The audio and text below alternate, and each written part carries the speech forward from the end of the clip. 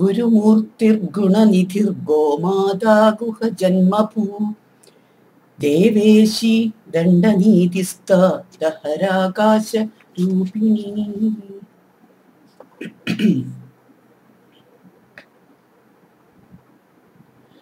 ഗുരുരേവ മൂർത്തി ശരീരം യസ്യ.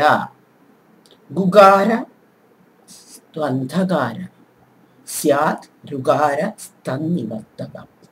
ഗുരു മന്ത്രം ദേവത. ഇത് മൂന്നും ഒന്നാണ്. ഇവയുടെ അഭേദാവസ്ഥ മന്ത്രശാസ്ത്രത്തിൽ സുനിശ്ചിതമായി പറയപ്പെട്ടിട്ടുണ്ട്. ഇവയോട് ശ്രീചക്രം ഉപാസകൻ എന്ന രണ്ടുപേരും കൂടെ ചേരുമ്പോൾ അഞ്ച് മൂർത്തി പഞ്ചമൂർത്തികളാവും. ഈ പഞ്ചമൂർത്തികളെയും ഒന്നായി ധ്യാനിച്ച് തന്മയീഭവിക്കണം.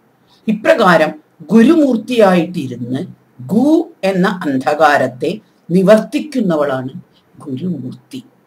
ഇത്തം മാതാ വിദ്യാചക്രം സ്വഗുരു സ്വയം ചേതി. പഞ്ചാനാം അഭിഭേദാഭാവോ മന്ത്രസ്യ കൗലികാർത്ഥോ അയം എന്ന് വരിവസ്യ രഹസ്യത്തിൽ കാണാം. അരുണഗിരിനാഥർ ഗുരുവായ് വരുൾവായി അരുൾവായി ഗുഹനേ എന്ന് മുരുകനോട് പാടുന്നു.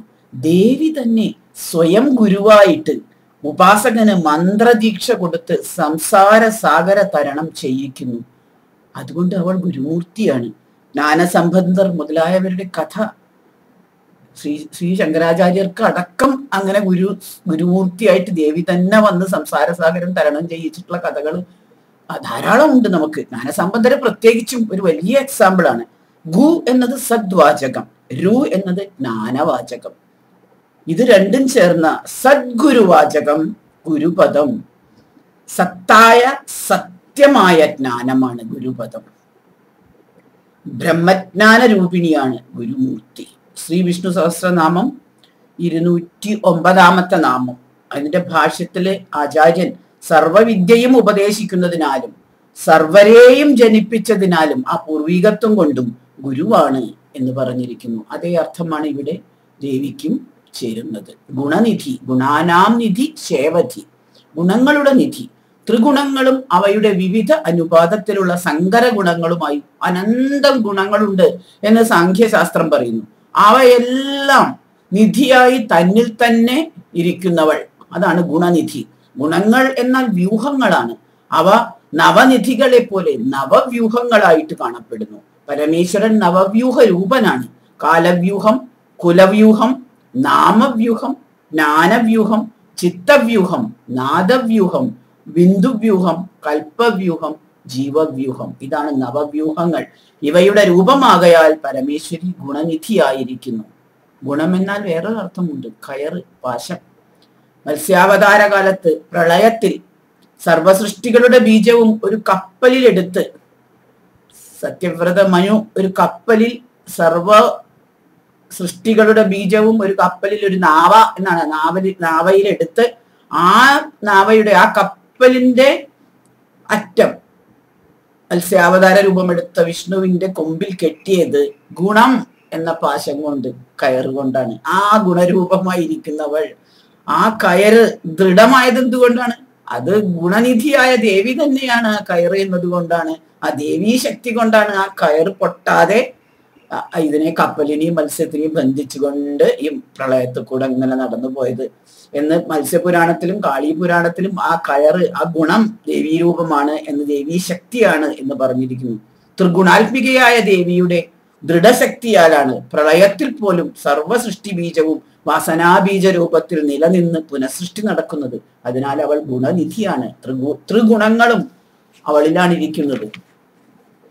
ഗോമാത ഗാവാം ധേനൂനാം സുരഭി സുരഭിരൂപ ഗോക്കളുടെ മാതാവ് സുരഭി എന്ന് പേരുള്ള കാമധേനു. ഗൗ എന്നാൽ വാക്ക് രശ്മി സ്വർഗം എന്ന് മൂന്നർത്ഥമുണ്ട്. അപ്പൊ അതിന്റെ എല്ലാം അമ്മ എന്നാണ് ഗോമാത എന്ന അർത്ഥം. വാക്കിന്റെ അമ്മ രശ്മി സമൂഹങ്ങളുടെ ഈ പ്രകാശത്തിന്റെ മുഴുവൻ അമ്മ സ്വർഗങ്ങളുടെ എല്ലാം അമ്മ പിന്നെ കാമധേനുവിന്റെ അമ്മ. എല്ലാ അർത്ഥവും വരും. വാഗ്ദേവി സ്വർഗമാതാവായ അതിഥി ഊർജരശ്മികൾക്കെല്ലാം ഉത്ഭവസ്ഥാനം ആയ അനേക അർത്ഥധ്വനി. വിശ്വനിഘണ്ടു ഇങ്ങനെ പല അർത്ഥങ്ങളും സകല പ്രപഞ്ചങ്ങൾക്കും സർവഭാഷയ്ക്കും സർവവാക്കിനും സർവ ഊർജത്തിനും സർവജീവനും അമ്മയായ മൂലകാരണ രൂപിണി എന്ന അർത്ഥത്തിലാണ് അവിടെ ഗോമാത എന്ന് ഉപയോഗിച്ചിരിക്കുന്നത് അല്ലാണ്ട് വെറുതെ ഒരു പശുവിന്റെ അമ്മ എന്നുള്ള അർത്ഥത്തിലല്ല. സകല പശുക്കൾക്കും അമ്മയായിരിക്കുന്നവളാണ്. ഗുഹജന്മപൂ ഗുഹൻ സ്കന്ദൻ സ്കന്ദന്റെ ഉൽപ്പത്തി സ്ഥാനമായ അമ്മ. കുഹു എന്ന ദ്രാവിഡ ഭാഷാ പദം അജ്ഞാന അന്ധകാരമായ അമാവാസ്യയുടെ പേരാണ്. കൂഹു അജ്ഞാനത്താൽ ഇരുട്ടുകൊണ്ട് ആവൃതമായി മറയപ്പെട്ടത്. അപ്രകാരമുള്ള ജീവന്മാരാണ് കുഹന്മാർ. അല്ലെങ്കിൽ കു എന്ന് പറഞ്ഞ ഭൂമി അർത്ഥമുണ്ട്. ഹൻ എന്ന ഹനിക്കുന്നവൻ ഭൂമിയെ ഹനിക്കുന്നവൻ അജ്ഞാനം കൊണ്ട് ഭൂമിയെ ഹനിക്കുന്നവൻ കുഹൻ. ഗുഹയുടെ ഉള്ളിൽ ഇരിക്കുന്നവൻ എന്നുള്ള അർത്ഥവുമുണ്ട്. തീയിൽ നിന്ന് പൊരികൾ പോലെ ദേവി എന്ന ബ്രഹ്മത്തിൽ നിന്ന് ഇവർ അസംഖ്യമായി ഗുഹന്മാരെ ഗുഹന്മാർ എന്ന് പറഞ്ഞാൽ ഗുഹാവാസികളും കൂടിയാണല്ലോ. ആദ്യകാലത്ത് കേവ് മെൻ അവർ അസംഖ്യമായിട്ട് ദേവിയിൽ നിന്ന് തീപ്പരി പോലെ തെറിച്ച് തെറിച്ച് വീണു. അതുകൊണ്ട് അവൾക്ക് ഗുഹജന്മഭൂ എന്നൊരു പേര് വന്നു എന്ന് പറയുന്നു. കു എന്നത് സംസ്കൃതത്തിൽ ഗു എന്നതിന്റെ ഗുഹ എന്നതിനെ ഗ എന്നത് തമിഴിൽ പറയുമ്പോൾ കു ആവുകയാണ്.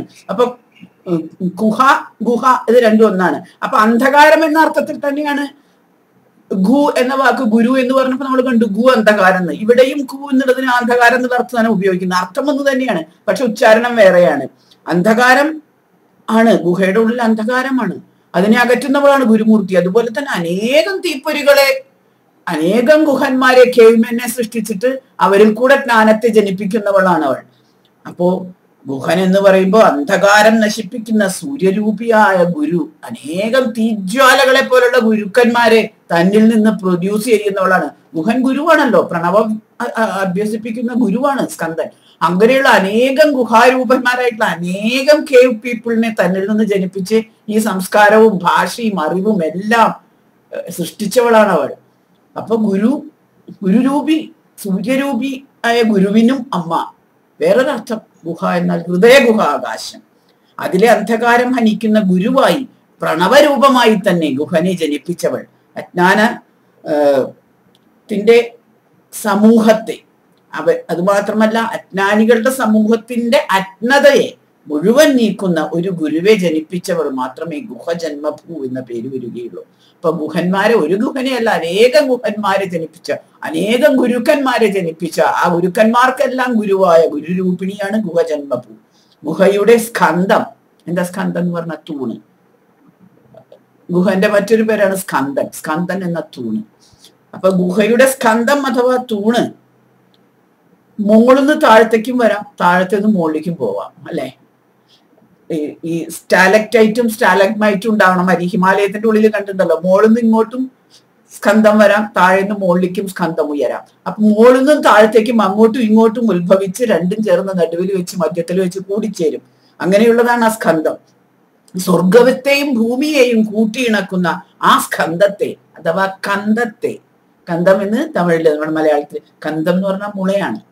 ആ മുള. മുളുന്ന ചുവട്ടിലേക്കും താഴ്ത്തുന്ന മുകളിലേക്കും വന്ന് അത് കൂട്ടിച്ചേർത്ത് ഭൂമിയെയും സ്വർഗത്തെയും കൂട്ടിച്ചേർക്കുന്ന ആ മുളയെ ആ കന്തത്തെ സൃഷ്ടിച്ചവൾ. അഥവാ ആ അങ്കുരത്തെ ആ കന്തം എന്ന് പറയുന്ന മുളയാണ്. ആ അങ്കുരത്തെ തന്റെ ഗർഭത്തിൽ ധരി ധരിച്ച ആ മഹായോനിയായ ദേവി എന്നാണ് അർത്ഥം. ഗുഹയിൽ തൂണ് മനുഷ്യനിർമ്മിതമായിട്ട് ശില്പികളാൽ ഉണ്ടാക്കപ്പെടുന്നുണ്ട്. അതിനെ നമ്മൾ ഗുഹാഗൃഹം എന്ന് പറയും. അപ്രകാരമുള്ള ശില്പശാസ്ത്ര ഗുരുക്കന്മാരുടെ എല്ലാം അമ്മ. തൂണ് നാട്ടപ്പെടുന്ന മണ്ണ് അഥവാ ക്ഷേത്രഭൂമി എന്ന യോനി. ഇതെല്ലാം അമ്മ തന്നെയാണ്. ഇതെല്ലാത്തിനും അമ്മയായിരുന്നു സകല ഭാഷയ്ക്കും സകല സംസ്കാരത്തിനും മാതാവായവൾ. ഗുഹജന്മഭൂ. ദേവേശി. ദേവാനാം ബ്രഹ്മ വിഷ്ണു വൈഷ്ണവാദീനാം ഈശി ഈശ്വരി. ബ്രഹ്മാദി ത്രിമൂർത്തികൾക്കും സർവദേവന്മാർക്കും ഈശ്വരി. ഈശിത്വം നൽകിയ അമ്മ. അഥവാ ഗുരു. അമ്മയാണല്ലോ ആദ്യത്തെ ഗുരു. അപ്പൊ അവരുടെ എല്ലാം അമ്മയായിരുന്നു. അവർക്കൊക്കെ ഗുരുത്വം അവരുടെ എല്ലാം ഗുരുരൂപയായിരുന്നു അവരുടെ എല്ലാം അമ്മയായിരുന്നു അവരുടെ എല്ലാം ഈശ്വര സ്ഥാനത്തിരുന്ന ദേവേശി ദണ്ഡനീതിസ്ഥ. കുറ്റം ചെയ്യുന്നവർക്ക് ശിക്ഷ വിധിക്കുന്ന ദണ്ഡനീതി അർത്ഥശാസ്ത്രത്തിന്റെ ഒരു ഭാഗമാണ്. ആ ദണ്ഡനീതി ശാസ്ത്രത്തിലിരുന്ന് അതിനെ നിർവഹിക്കുന്നവളും ഈ അമ്മ തന്നെയാണ്. കർമ്മഫലം തരുന്നവളാണ് അവൾ ഒരാൾ ദുഷ്കർമ്മം ചെയ്താൽ ദുഷ്കർമ്മത്തിന്റെ ഫലം കൊടുക്കാതിരിക്കാൻ പറ്റില്ല. ആ ദണ്ഡനീതി അവൾക്ക് നടപ്പാക്കാതെ പറ്റില്ല. അതാ അതാ ധർമ്മത്തിന്റെ ഭാഗമാണ്. ദേവീ പുരാണപ്രകാരം ദുഷ്ടന്മാരെ അടക്കി ശിഷ്ടകർമ്മത്തിലേക്ക് നയിക്കുന്നതിനാൽ ദേവിക്ക് ദണ്ഡനീതി എന്നൊരു പേരുണ്ട്. നയാനയ ഗതാൻ ലോകാൻ അവികൽപേ നിയോജനാത് ദണ്ഡാനാഥ് ദമനാഥ് വാപി ദണ്ഡനീതി രീതി സ്മൃത. നീതിശാസ്ത്ര നിപുണർ ദേവിയെ നീതിശാസ്ത്ര പ്രകാരം അതിലിരിക്കുന്ന ദണ്ഡനീതിയായും അറിഞ്ഞ് ഉപാസിക്കുന്നു.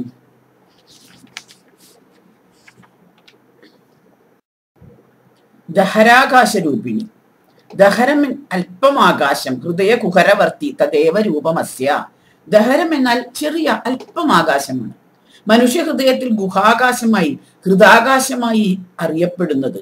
അതിൽ ആകാശരൂപിണിയായി ഇരിക്കുന്നവളും അവളാണ്. ഹൃദയഗുഹയിലെ ആകാശരൂപിണി എന്ന സൂക്ഷ്മരൂപിണി. ഈ വലിയ വിശാലമായ ടൈം സ്പേസ് കണ്ടിന്യൂം എന്ന വലിയ ആകാശത്തിലെ അതിലും അവളാണ് ഇരിക്കുന്നത്. ഈ ചെറിയ ഹൃദയ ഗുഹയിൽ ചെറിയ ആകാശത്തിലും ഹൃദ ഹൃദാകാശത്തിലും അവൾ തന്നെയാണ് ഇരിക്കുന്നത്. സ്ഥൂലരൂപിണിയായിട്ടും സൂക്ഷ്മരൂപിണിയായിട്ടും അവൾ തന്നെ ഇരിക്കുന്നു. ആകാശം എന്നാൽ തമിഴിലെ വെട്ടവെളി ശൂന്യം ഇടം മുതലായ പര്യങ്ങൾ പര്യായങ്ങളോട് കൂടിയ ഒരു വസ്തുവാണ്. തമിഴ് ഭാഷത്തിൽ എടുത്തു പറഞ്ഞിട്ടുണ്ട്. ഇത് സകലർക്കും അവകാശപ്പെട്ടതാണ്. സകലാർക്കും അവകാശപ്പെട്ടത് കൊണ്ട് എല്ലാവർക്കും അവകാശമുള്ളത് എന്ന അർത്ഥമാണ് ആകാശത്തിന്. അല്ലാതെ സ്കൈ എന്നുള്ള ഇംഗ്ലീഷ് അർത്ഥമല്ല ആകാശത്തിന്. അത് ഭാഷയുടെ ഒരു പ്രത്യേകത മനസ്സിലാക്കണം അത്. വെട്ടവെളി ശൂന്യം ഇടം എന്നൊക്കെ പറയുന്ന സ്ഥലം ശരിക്കും ശൂന്യവുമല്ല അതൊരു ഇടവുമല്ല. ഒന്നുമല്ല. അത് എല്ലാവർക്കും ബാധകമായിട്ട് എല്ലാവർക്കും അവകാശപ്പെട്ടതാണ് ആകാശനാമം. ചിതാകാശം എന്ന വെട്ടവെളി സർവപ്രപഞ്ചത്തിനും ഇരിക്കാൻ ഇടമുള്ളതും അവയ്ക്കെല്ലാം അതീതവുമാകയാലാണ് ഈ നാമങ്ങൾ. ഹൃദാകാശം ഈ ബ്രഹ്മഗുണങ്ങളോട് കൂടിയതാണ്. എന്നാൽ സ്ഥൂലാകാശമായിട്ടല്ല സൂക്ഷ്മാകാശമായിട്ടാണ് പിണ്ടാണ്ടത്തിൽ ഇരിക്കുന്നത്. ബ്രഹ്മാണ്ടത്തിൽ സ്ഥൂല സൂക്ഷ്മ കാരണമായത് പിണ്ടാണ്ടത്തിൽ സൂക്ഷ്മമായിട്ട് ഇരിക്കുന്നുമുണ്ട്. പരബ്രഹ്മരൂപത്തിൽ അകത്തും പുറത്തും ഇരിക്കുന്നവളാണ് ദേവി. ബ്രഹ്മസൂത്രം ദഹര ഉത്തരേഭ്യ എന്ന് പറയുന്നു. അഥ യസ്മിൻ ബ്രഹ്മപുരേ ദഹരം പുണ്ടരീകം വേഷ്മദഹരോ അസ്മി അനന്തരാകാശ തസ്മിന്യദന്ത സ്തന്വേഷ്ടവ്യം എന്ന് ചാന്തോഗ്യ ഉപനിഷത്തിൽ. ഇപ്രകാരമുള്ള വൈദികവും താന്ത്രികവുമായ ഉപാസനയ്ക്ക് ദഹരവിദ്യ എന്നാണ് പേര്. ഇതിനെ രത്നത്രയ പരീക്ഷയിൽ അപ്പയ്യ ദീക്ഷിതര്. വേദജ്ഞാധർമ്മമേതം പ്രവിത്തമഖിലാധാരം ആകാശമാഹു കിഞ്ചാന്നതം മനോവാഗ വിഷയമധികം ധർമ്മിനോ വർണയന്തി. സത്താസ്ഫൂർത്തി സുഗഞ്ചത്രയമഭി ജഗതാം സങ്കീരന്തേ തദംശം പ്രാണാകാശാദ്യുപാസ്തി കതിചിതപി തദാലംബനാസ്തേ വദന്തി എന്നാണ് പറഞ്ഞിരിക്കുന്നത്. ഇതാണ് ദഹരാകാശ രൂപിണി എന്ന വാക്കിന്റെ അർത്ഥം.